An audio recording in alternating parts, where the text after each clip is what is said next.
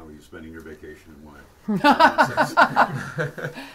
so so we hold office hours every day in here and i have an open door policy in my office. You know when we're in the district we set lots of appointments up when i'm actually here for the district office in mishawaka for not on the road to the other counties. And today you know we just have an open door like we have every day to listen to folks um, come in and talk about what they want to talk about. You know some folks today are coming in and wanting me to know about uh, different things they don't agree with um, things they do agree with and some want me to respond, some don't. So I'm literally sitting with a large pad of paper and a pen and just listening to folks. But more importantly, for those that want to have a dialogue and really have a conversation about, um, you know, things, uh, healthcare, tax reform, um, you know, EPA laws, immigration, all the topics that have come up today. Um, I'm thrilled, and I'm thrilled to be able to have the opportunity to sit down and actually talk, listen to folks, but also have. Uh, to have dialogue and, and talk about um, you know uh, the perspective of what could be different. And they're letting me know of what they want to have that's different. So i think it's incredible. I mean we've had an incredible time so far today. Why haven't you had a town hall meeting yet? You know what we've always done is have open doors. I really love the idea of being able to sit down and actually have conversations with folks um, to be able to drive down past, um, you know, maybe just one or two issues. But you know, when you start talking about healthcare, for example, you know, it goes in not just individual stories, but it goes in then to other issues. We start talking about Medicare, or you start talking about, you know, growing the economy and, and pro-growth economy and putting people back to work so all ships rise at the same time. And it really does start bridging gaps of information where um, you know, so I think other environments are, are somewhat difficult, but I treasure the opportunity to do what we're doing today and actually have conversations with folks and looking for solutions. We know from some of the people we've spoken with who were at these meetings today and previously, some of them have organized a town hall on April 9th, as sure. I'm sure they told you about. Sure. They say it's going to be moderated. They say they're okay with police coming, because obviously there have been a lot of contentious town halls across the country. Knowing that they seem to want to just have a larger discussion that would be safe for you, safe for them, what's resisting you from accepting I, I don't, I, you know, nobody's been talking, we're not talking about, you know, safe and not safe and those kinds of things, but, um, you know, what to me has been extremely productive is being able to sound have real conversations. You know, a lot of these issues are not partisan that we're talking about. They never have been. Healthcare and taking care of people in this district, not partisan. You know, taking care of veterans, not partisan. Um, you know, we talked about military budgets today, not partisan. These aren't partisan issues.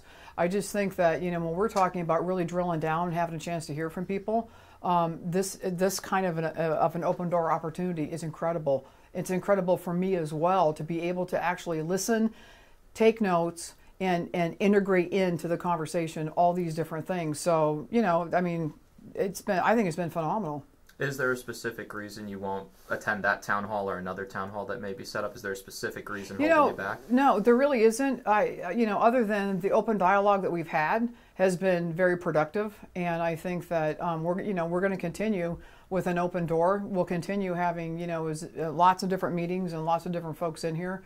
Um, but I think it's really important to have the time to drill down with folks and honestly hear them, and, and, and with no pressure on them either, to, uh, to have honest conversations about things that are of um, you know value to them and, and, to their neighbors and to their extended family and those kinds of things. A lot of issues come up when you have a chance to actually have real dialogue.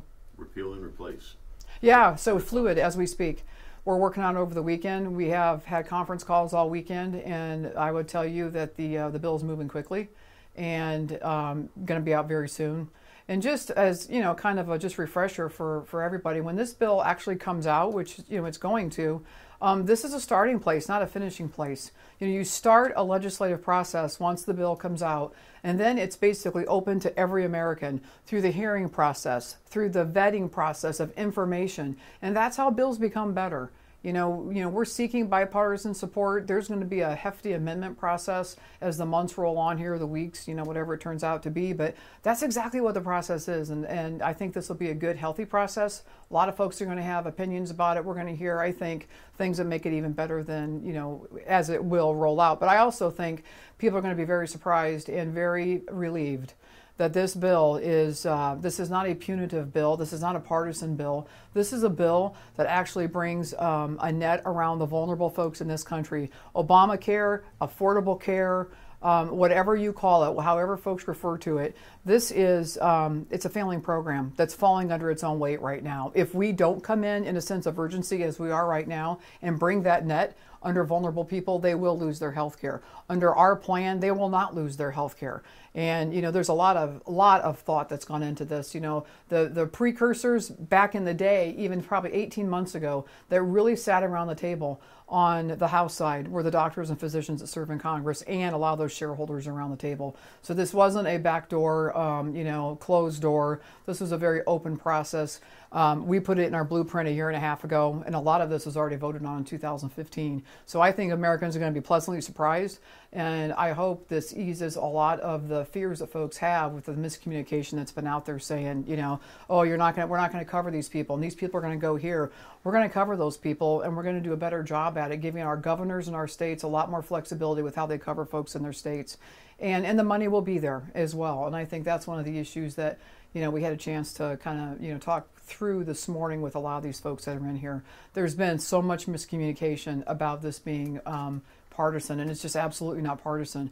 This is actually, you know, what a lot of folks in our district have asked for. And you know, for every you know person that comes in here and says, "Well, I don't like it, and I'm against what you're doing," that's fine, right? This is the American way. This is an open dialogue about this plan. But I can also tell you, as a member, as you know, uh, a member of the House representing the second district.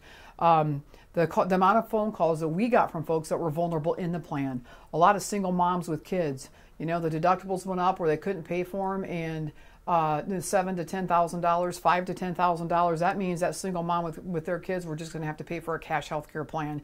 That's what was happening under the plan that they were covered by.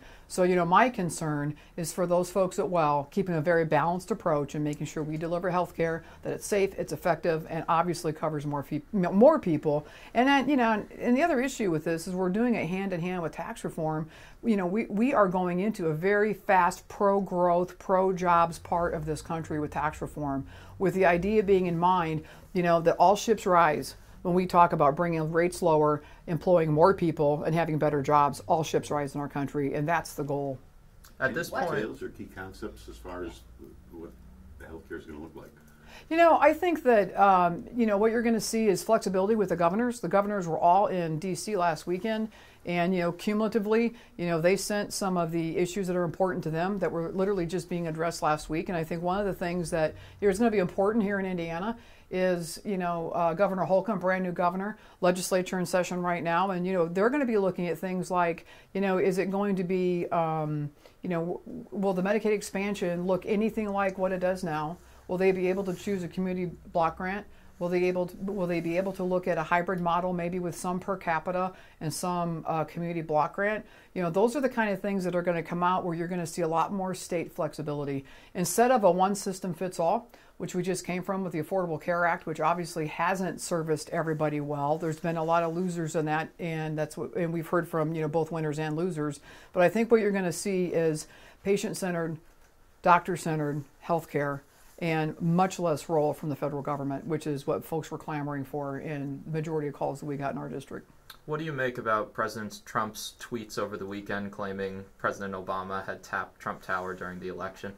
Um, I'm obviously not the president, and I don't work for the president. You know, I'm a separate legislative branch of government that makes sure that we listen to people and we find balances and solutions in our country, and that's exactly what we're doing. I think that, uh, you know, obviously the president has his own opinion, his own mind, he says what's on his mind. But I think that, uh, you know, just as there's investigations rolling today through the intel community on the role of Russia and some of these other things that have come up that, you know, folks are talking about, you know, I think that there's probably, you know, if he's calling for an investigation, that I'm sure there'll be an investigation. But I think it's really important for the Congress and members like me to stay completely focused on what we're doing this week and next week, which is making sure that we get this right with healthcare, making sure we get this right with tax reform, and that we get the American people back to work and we see the consumer confidence that has been risen in the last couple of months. Our job is to make sure that we come through with what we've promised the American people. I'm not obviously responsible for the President of the United States, but I am responsible to deliver to this district, which is exactly why we're doing what we're doing today. Does it concern you at all that the president makes these blanket statements without any evidence? You know, you know, the president's going to do what the president's going to do. Every president has had, you know, the the freedom to do what they want to do. They're duly elected, and they're the you know the commander in chief, the leader of the free world. And I think that you know it's the American people that stand in judgment of him. My uh, title is as representative is to fight for the people in this district and to make sure that we deliver to them you know, better jobs, an increase of jobs, a tax reform system that works for them and not against them, and making sure that um, you know that we take care of the vulnerable people in this country, which is what we're certainly focusing on right now. In addition to, I would tell you this. Um, because this is coming right down the path this week as well, is making sure that we put the additional resources in the United States military that we need. And you know, I served on uh, Armed Services Committee for four years, and uh, you know, the, our military was woefully whittled through by the Obama administration, down to the smallest it's been since World War II. And you know, we we are in danger of literally being not ready. The readiness in our military across the board has been completely affected in a very, very negative way. So you're going to start seeing us supporting increases in budgets as they start coming through to actually completely fund the military. And you know, needs to be done. The national security of this country is on the minds of every American, and we deserve to send our finest out there that are absolutely covered and prepared for victory. And Tax credits, we're probably looking at a, a system based on, That's still in flux. Those conversations are still going on, but you know, uh, tax credits, tax deductions, and those kinds of things have been talked about. But uh, you know, they're going to be, they're going to continue the, the conversation. When we're going to have conversations this afternoon, even before um, you know the, we actually get the bill ready to roll out. so Perfect. flexibility and that, I guess. Yeah, Excellent. Absolutely. Yeah. Thanks, guys. Thank you very much. Thanks for Thank coming. you.